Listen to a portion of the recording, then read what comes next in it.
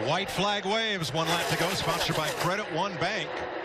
I wonder if Stenhouse waits till turn four because if nobody goes with him, he won't lose so many spots on the way to the finish line. Well, the only way it's going to happen is if he backs up to that 21. If he doesn't build a big enough gap, he's built a little gap. I just don't think it's enough. And by those cars breaking away, as, as you can see, uh, you know, the 43 Bubba Wallace uh, and Ryan Preece, they broke away. That that kind of jumbled up this this run. Now here's the 21 of Menard. It's Menard.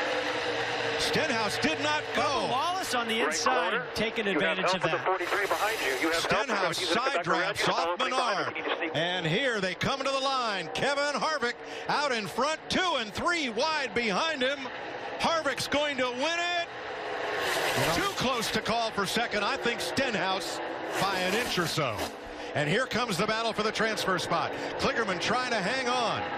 Reddick right in his draft with Truex and Parker Kligerman's in the 500. Good job, buddy. Along with Tyler Reddick, who will make the field on his qualifying speed.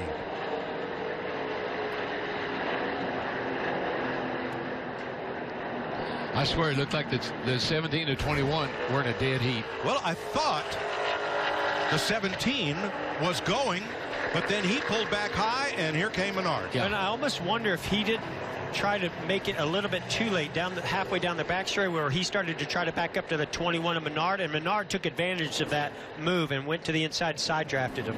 Yeah. Well, let's see. yeah, he Stenhouse had a look. I but I think Stenhouse was trying to back up to the uh, 21 of Menard to see if he would push him and then get a run possibly off a of turn four at Kevin Harvick. But Menard outfoxed him a little bit there. Yeah, he did. But you know what? Kevin Harvick is loving every minute of this. Yeah, you boys get side by side. I'm happy about that. Look at 95. Matt DiBenedetto is going to come across the line fourth after diving to the inside off turn four. I'm glad we got this shot here. I watched the 17 21 or 17 and the 21. Look how, I mean, that is almost a dead heat. And there's a 95 of DiBenedetto. Yeah, what a great job by What him. a great way to get Speed Week started for Matt DiBenedetto on that new ride.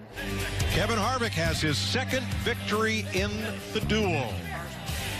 Last win came in 2013 with Richard Childress racing. Matt Yocum to greet him in victory lane.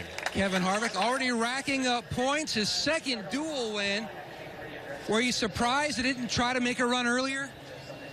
Well, I knew our, our uh, Busch Beer Ford was was fast, and and um, you know I had uh, Stenhouse and, and the 21 behind us. I knew that that we all wanted a Ford to get to victory lane. I'm just glad we finally came out on the right side of it, uh, and, and, everything's not tore up. Just uh, got to thank all these guys: uh, Busch Beer, uh, Mobil One, Hunt Brothers Pizza, Jimmy John's, Ford, everybody at Haas Automation, um, Outback Easy Go Fields, everybody who's touched these super speedway cars. They've been great, and switching over to the Mustang uh, it's a big deal and a great way to get Speed Weeks uh, not started, but in a, in a good way uh, head to head to victory lane. So got to say hey to Keelan. I know he's up watching.